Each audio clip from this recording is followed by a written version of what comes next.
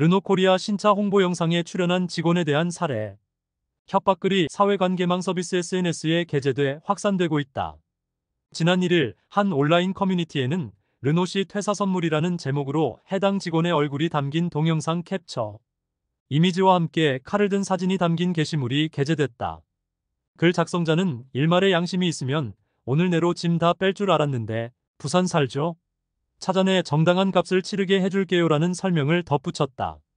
해당 게시물은 4일 현재 삭제된 것으로 보이지만 SNS를 통해 빠르게 확산되고 있다. 몇몇 이용자들은 경찰청 공식 계정을 태그로 걸고 르노자동차, 손가락 논란 해당 직원의 살해 협박이 있다며 수사를 요청하기도 했다. 이 직원은 지난달 29일 르노코리아가 공식 유튜브 채널 르노 인사이드에 올린 하이브리드 스포츠 유틸리티 SUV 신차 뉴 르노 그랑 콜레오스 홍보 영상에 출연해 신차를 소개하면서 잠시 엄지와 검지손가락을 디귿 모양을 했다.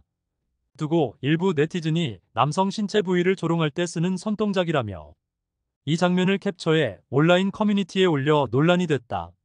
이후 르노코리아는 해당 영상을 삭제하고 이 직원의 직무를 금지했다.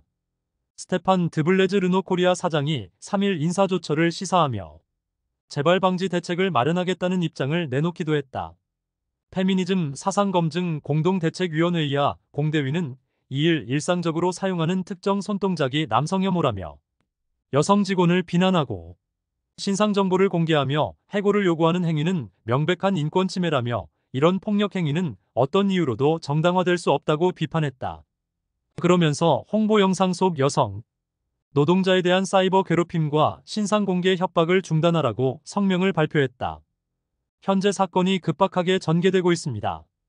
해당 게시물은 온라인 커뮤니티와 SNS에서 빠르게 퍼져나가며 르노코리아는 급히 영상을 삭제하고 해당 직원의 직무를 금지한 상태입니다. 한편 페미니즘 사상검증 공동대책위원회 공대위는 이러한 행위를 인권침해라고 강력히 비판하며 폭력적인 행위와 사이버 괴롭힘을 중단할 것을 요구했습니다. 경찰 당국은 현재 사건을 조사 중에 있으며 관련자들에 대한 엄중한 처벌을 예고하고 있습니다.